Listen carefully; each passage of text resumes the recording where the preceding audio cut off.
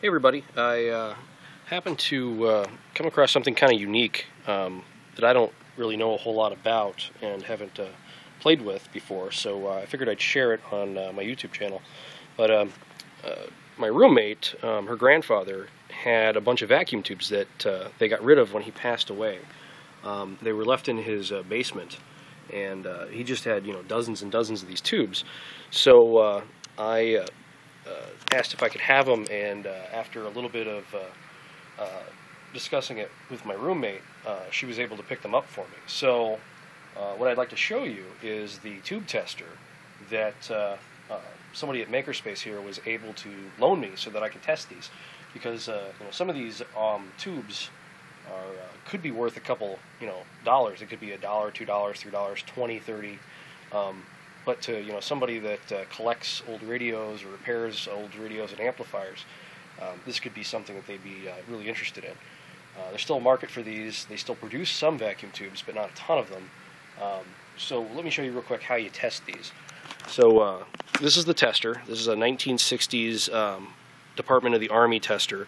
Uh, you know, and you it's in this case, you'd lug this around, I guess, with you, and uh, you know, if you were a technician and uh, it comes with uh, all these sockets for plugging in various types of uh, uh tubes and uh, also a reference manual um, for um, you know making sure that you've got all these different tubes accounted for when you take a look at them. So what I'm doing here is I've looked up the tube that I just put in here which is a 6SN7 um, and there's, you know, as you can tell from this book, a lot of different types. But uh, I've looked this up, and I've already made my way through some of them, but um, looking up this particular type, uh, it says it's got two tests for it, as you can see at the, uh, the top here. And I'll show you this. It's got this book with all these different values in it. And uh, up at the top, we've got the tube type. Um, this is the filament voltage, so this is what the voltage the uh, tube sees. Um, there's all these different selectors and these switches and knobs that you set to these different settings. There's uh, some bias, um, a shunt, and uh, uh, a range of values we're looking for on the meter, and then there's a, uh, a button you need to press to actually test it. Um, and what we're looking for when we press that button is the minimum value. Um, so as long as it's greater than the value listed in here, it's still good. And the notes on the side here tell you what each of these different tests mean. So as you can see, some of these have you know the same number over and over and over, and there's different things to test. So in my case, we're looking for the 6SN7, um, I've set the filament voltage here to 6.3 and all the other settings for this first test. Uh, the first test is for triode number one, uh, which uh, triode's like a diode, um, so it only allows current to go in one direction. So we are going to uh, set everything to this uh, combination of settings, and uh, it says we've got an H and a Y, so the filament is H and Y, the next one is 4, 5. So grid number 4, plate number 5, and screen is 0, cathode is 6, and suppressor is 2. Uh, then after that we've got these settings for, um, let's see here, if I can focus, um, the bias, which I'm assuming is the bias voltage, and then this shunt. And there's nothing there, so that's 0. This one was 23, however. Um, and then I set the meter for the function I want to measure for the range B. And what it tells me to do is push 3 over here on these buttons. And uh, I'm looking for a reading greater than 50. So before I do that, however, I'm going to press this line adjust button, and that'll allow me to calibrate this.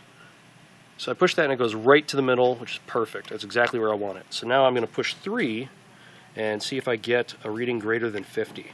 And I do, so this is still a good tube. Um, as you can see, I've already plugged this in. You probably wouldn't want to plug this in until you had your voltage set. And you can see there's these two little points of light on top that are glowing.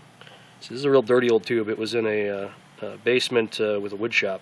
But you can see there's little glowing dots on here, and that's the actual filament heating up. Um, so this tube's warmed up, and obviously it works. Uh, I can do the second test, which is HY1. So I still have my H and my Y set here. I'm going to set this to 1 for my grid. So that's at 1. Set plate to 2. uh, three zero three five. So that's at zero for screen. Cathode is at three, and then I will set this suppressor to five. And my bias and my shunt remain the same, and my range is B, and I'm looking again for 50. So if I press three, oh, I get a number greater than 50. So this is a good tube. So I will take that and put it in the pile with the rest of mine.